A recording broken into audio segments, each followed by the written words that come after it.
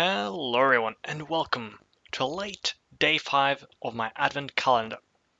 Today we start working on our bitmap class. This is a very important class for our rendering system. First of all though, we want to fix up in our packaging system.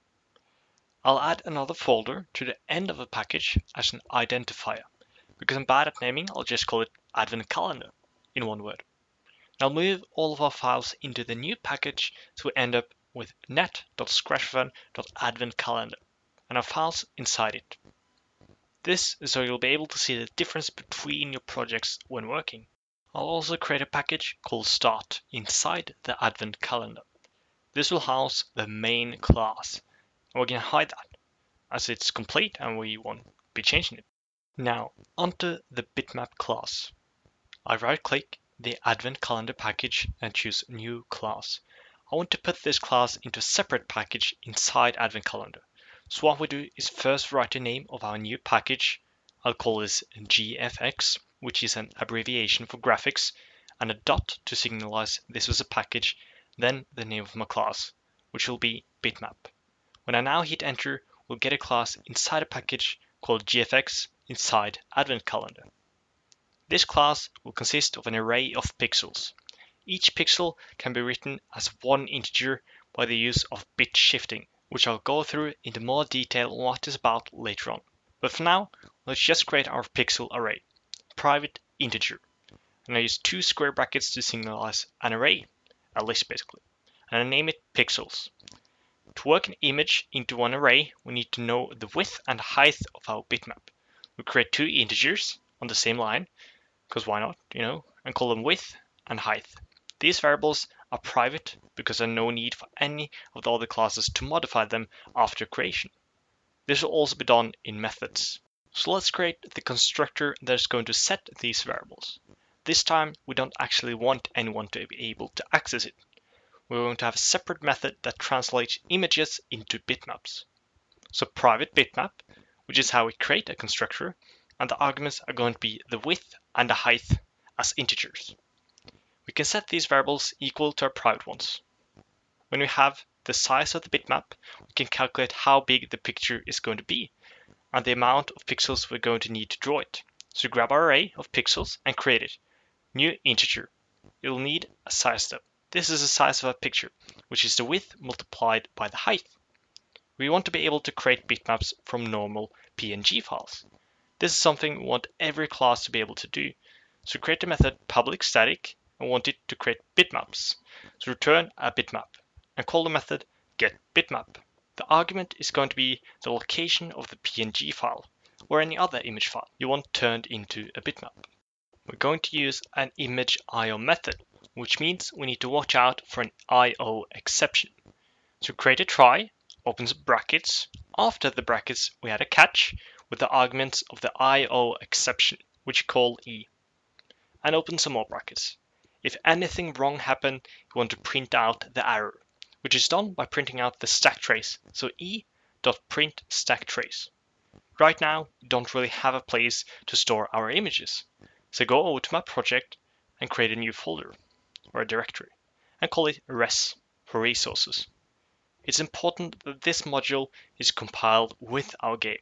So right click and set it as resources. I have one image, which is a temporary background of our game. Right now, this is just a mountainous landscape that we are going to scroll through as we progress in our game. So add this to my res folder. If you want this image for testing, then feel free to go to my GitHub page. The link is in the description below that like button. Back to the main class. The first thing we want is to grab the image as a buffered image. So buffered image. Let's call it image and set it equal to image.io which is a class full methods that involve images, and we use the read method to read an image from a file. This is where it might be a little hard to understand why we do what we do. We could always give the method a file that contains our image and it will work, but we need to make sure that this file is accessed correctly. After creating an exe file or exporting as a runnable jar, our resources will just be dumped into the project, meaning our res and source folder will just be deleted and the files suddenly are all together, which means we need to access the file as a resource, not just as a file. This will not work when you export a game. So we access our main class main and we grab the class instance. We grab the class's resource location as a stream. And while we're at it, we might as well just give it the file we want it to read, the path. So the image.io class is now reading our image from a stream with a link to our image. We want to transform this image into a bitmap. So first we create our bitmap bitmap. We'll set it equal to a new bitmap. We need to give the constructor a width and a height. The width, width is equal to image.getWidth and the height is image.getHeight. We now have our bitmap with the correct size, but we still need to fill the array of pixels. Luckily, the buffered image has a lot of methods for us. We access our image and call getRGB. In the method, we give the buffered image an empty array, the size of our image, and it will fill the array with the correct pixels. But before that, we need to input the image we want to cut out. We want to keep the entire thing, so we want to start at a position x equals 0 and y equals 0. The size of a cut is equal to the size of our image, which you can get using bitmap.width and bitmap.height. The next argument requires our array, so give it the bitmap array, or bitmap.pixels, which has the correct width and height already. The next argument is the offset of our array. This is used if you store multiple images in one array, something we won't be doing. So our offset is 0. The last argument is a scan size. This might be a little hard to understand, but it is linked to our offset variable. It controls how far you skip in your array after every horizontal scan. Since we don't use any offset, we can just set this to the width of our image. When we go up in Y, we add the width of the image to the current position in our array. Since the x variable, which at the end of our loop is equal to the width, well, when we set this to zero, we compensate by adding the width to the array. The array we input will be filled with pixels from the image, which means our bitmap object is now successfully constructed. So return the bitmap.